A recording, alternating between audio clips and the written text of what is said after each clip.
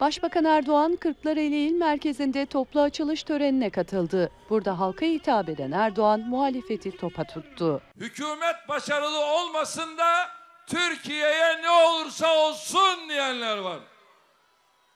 Hükümet kazanmasın da millete ne olursa olsun diyenler var. Hükümetin başarı hanesine yazılmasın da Türkiye millet kaybederse kaybetsin. Meselesi Türkiye olmayanlar, meselesi millet olmayanlar, kendi şahsi hırslarını, çıkarlarını, kendi şahsi rantlarını öne çıkarıp Türkiye'nin, milletin çıkarlarını ayaklarının altında çiğneyebiliyorlar. Hükümeti eleştirmek, hükümetin kaybetmesini sağlamak, hükümete zarar vermek adına kendi ülkelerine, kendi milletvekili milletine zarar vermekten çekinmeyecek kadar değerli kardeşlerim izanlarını yitiriyorlar. Başbakan her zaman tek millet, tek bayrak, tek vatan ve tek devlet dediklerini de ifade etti. Bayrakları bayrak yapan üstündeki kandır, toprak eğer uğrunda ölen varsa vatandır.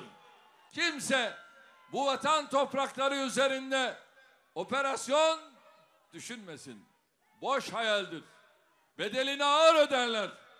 Onu açık ve net söylüyorum. Bedelini ağır öderler. Kimse böyle bir hesabın içerisine girmesin. Doğu da bizim, batı da bizim. Türk de bizim, Kürt de bizim. Roman da bizim, Boşnak da bizim. Gürcüsü Abazası hepsi bizim. 76 milyonuyla biriz. Beraberiz.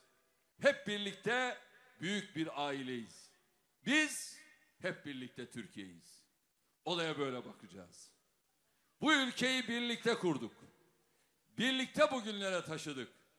İnşallah hep birlikte bir olarak, kardeş olarak ülkemizi geleceğe taşıyacağız.